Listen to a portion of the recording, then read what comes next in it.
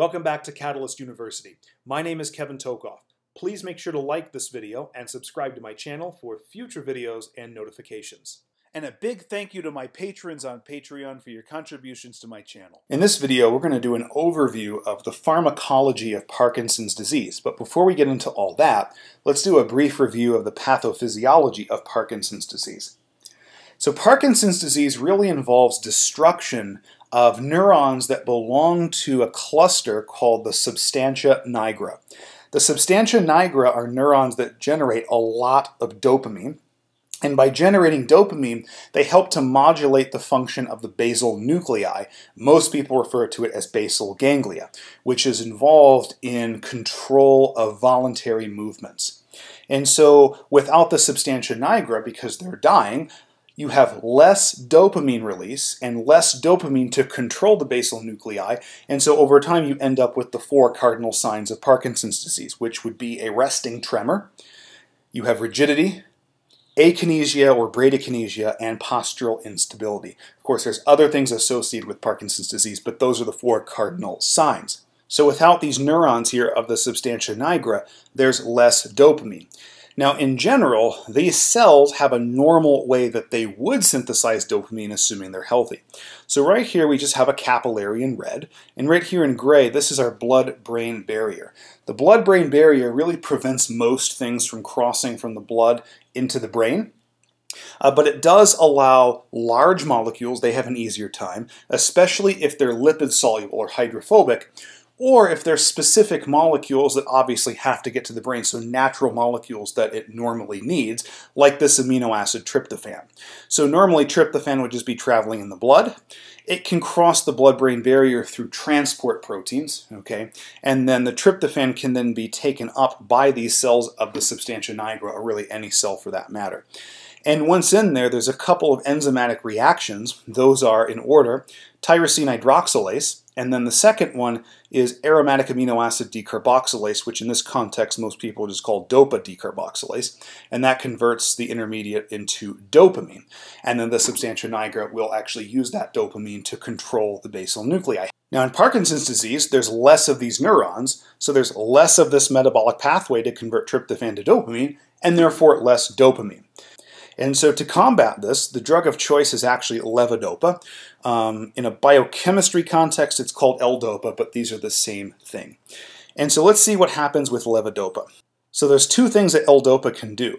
One, L-DOPA can go through the blood here and cross the blood-brain barrier through transport proteins, and then that L-DOPA will be taken up by the remaining cells of the substantia nigra, and the second enzyme, dopa decarboxylase, will convert it to dopamine. Okay, and so theoretically, if we have more L-DOPA that's taken up by the remaining cells, there's going to be more dopamine, even though there's less of the cells. We just overload this enzyme with its substrate, and we get more of a product, dopamine. The other thing that we have to worry about with L-DOPA is that before this molecule actually gets to the capillaries leading to the brain, it can be metabolized in the periphery. So in the periphery, there are other DOPA decarboxylase enzymes that can prematurely convert L-DOPA to dopamine. So why is that a problem? Because only L-DOPA can cross the blood-brain barrier. Dopamine cannot cross the blood-brain barrier. So that's why we can't just give these people oral dopamine even though they're deficient in dopamine. We can give them all the dopamine in the world, but it's never going to get to these cells and they're never going to be able to use it. So we have to give the precursor to it, which can cross the blood-brain barrier, and then that precursor, which is L-DOPA, can then be taken up and converted to dopamine. Now, there's a problem with this type of treatment alone. It's that there's a lot of this peripheral metabolism to dopamine prematurely, and so not a whole lot of L-DOPA will get to the brain and to these substantia nigra cells. Some will, but we want a little bit more to be able to get there. So what we typically do is we use a combo treatment of carbidopa and levodopa. These two drugs are given in one formulation called Sinemet, that's the trade name, which is both carbidopa and levodopa. Now, carbidopa can also not cross the blood-brain barrier. But carbidopa has another function. It's an inhibitor of dopa decarboxylase. Now, what did this enzyme normally do? It metabolizes L-dopa prematurely into dopamine, and then the dopamine is unable to cross the blood-brain barrier. So by inhibiting this enzyme, you actually allow more L-DOPA to get into the blood, into these capillaries that lead to the blood-brain barrier, and so then there's more L-DOPA available to those substantia nigra cells. So the administration of this as the formulation with carbidopa, the carbidopa inhibits dopa decarboxylase and spares the L-DOPA from peripheral metabolism, so that way there's more of it to be used by the substantia nigra cells. Another thing, this carbidopa can't cross the blood-brain barrier, so it can't come over here and inhibit this aromatic amino acid decarboxylase in the substantia nigra. So it works out pretty well that way. Another reason that we'd want to also use the carbidopa with the levodopa is that uh, L-DOPA causes some peripheral signs and symptoms that aren't so good. So nausea, vomiting, there can be cardiovascular symptoms, there can be psychological symptoms. And so theoretically, if there's less L-DOPA in the periphery, then there's going to be less of those symptoms. And so by inhibiting dopa decarboxylase, you allow more of that L-DOPA to get to the brain, and so there's less of that L-DOPA left in the periphery, and so less of those symptoms at the heart or at the GI. Okay, so hopefully that makes sense. Now, any dopamine that's made by these substantia nigra cells is packaged into vesicles and it's sent along the course of the axon all the way down here. We follow this path and then down here to the axon terminals of these neurons of the substantia nigra. Now, at this point, hopefully we understand the events that are occurring at the synapse. But again, under an electrical stimulation, dopamine will be released from a vesicle into the synapse by exocytosis, Here's our dopamine. It travels across the synapse and binds to its corresponding dopamine receptor on the postsynaptic cell membrane. And this cell is a neuron uh, belonging to the basal nuclei. So sorry I misspelled that right there, but it's really going to be neurons of the putamen, the caudate nucleus, or in some cases the globus pallidus, which I don't have labeled there.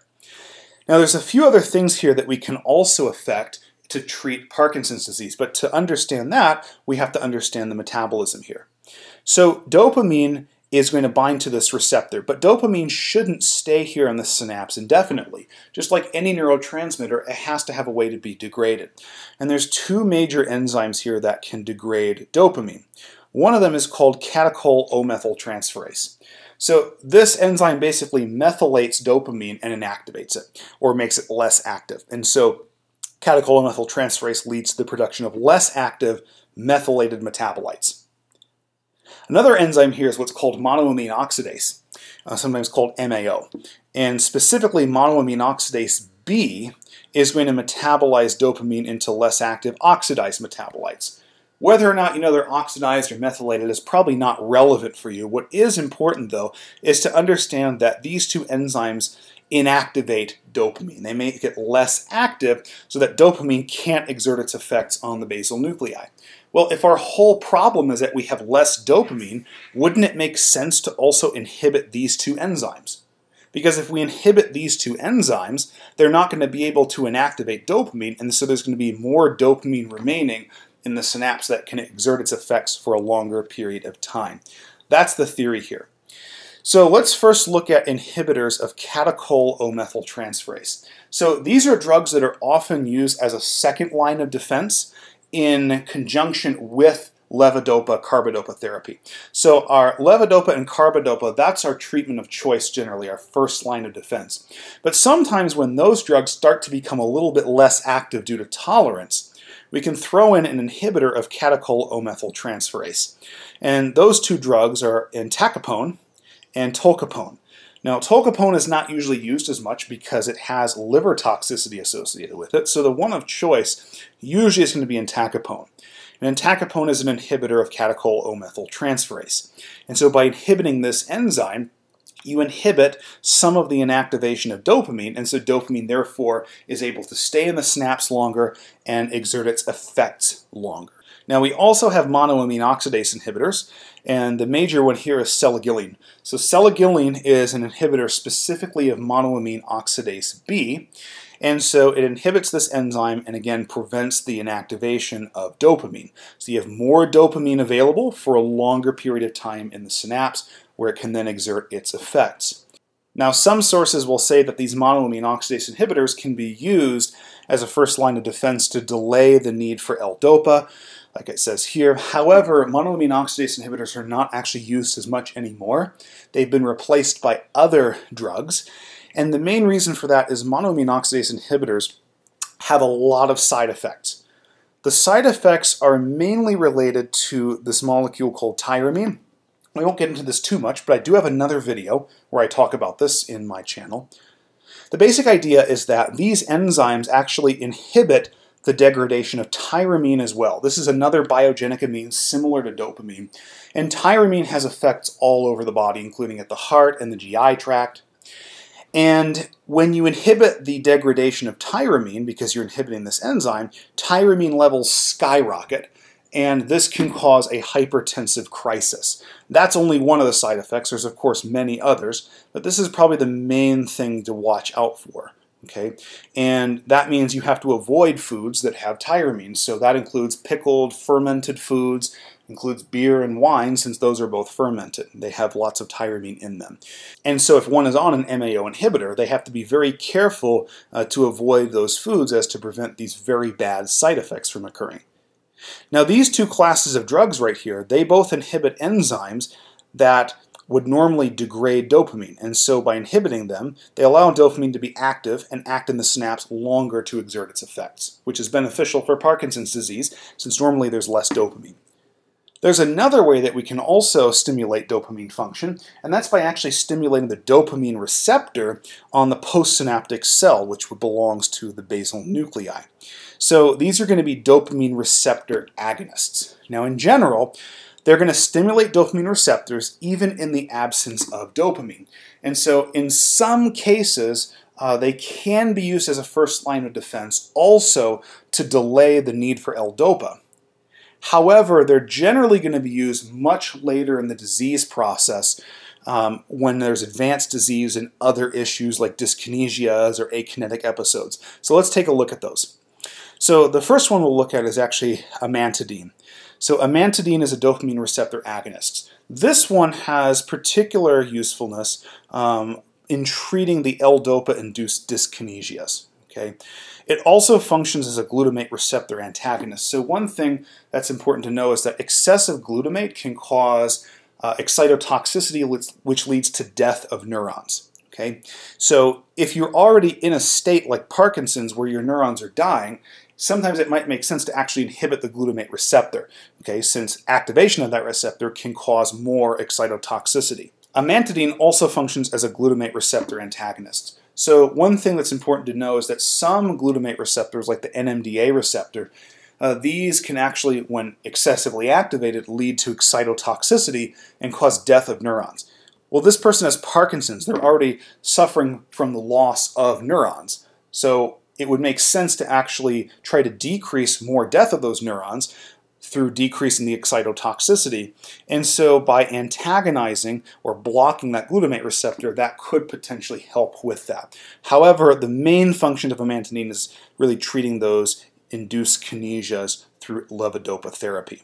The other drug here, which is also a dopamine receptor agonist, is apomorphine. The second P shouldn't be there. Apomorphine, also called Apokyn. This is used in the advanced stages of Parkinson's disease really to treat akinetic episodes.